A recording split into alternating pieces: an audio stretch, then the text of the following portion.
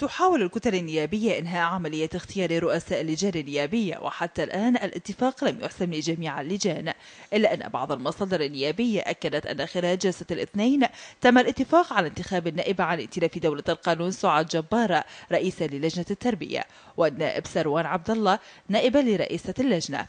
وشملت الجلسة السابقة تسمية رئيس اللجنة القانونية القاضي محمود الحسن على كتلة التحالف الوطني. فيما يتولى النائب عن التحالف الكردستاني حسن توران مقرر اللجنة. وذكر مصدر نيابي رئاسة اللجنة القانونية ستكون مناصفة أو بتناوب بين التحالف الوطني لعضو محمود الحسن والنائب عن التحالف الكردستاني محسن السعدون. يشار إلى أن النائب حاكم الزاملي اختير رئيسا للجنة الأمن والدفاع النيابية وأحمد الجلبي رئيسا للجنة المالية والنائب فرات التميمي رئيسا للزراعة النيابية. لكن الاتفاق أصبح نافذا لأعضاء لجنة النزاهة النيابية في مجلس النواب حيث يتولى طلال الزوبعي رئاسة اللجنة.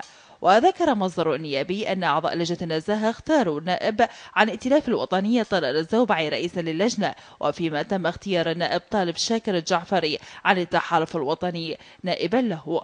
ويرى بعض المراقبين أن الإسراع في حسم أمر رؤساء اللجان النيابية سيسهم في الإسراع بطرح مشاريع القوانين وتقارير اللجان داخل البرلمان.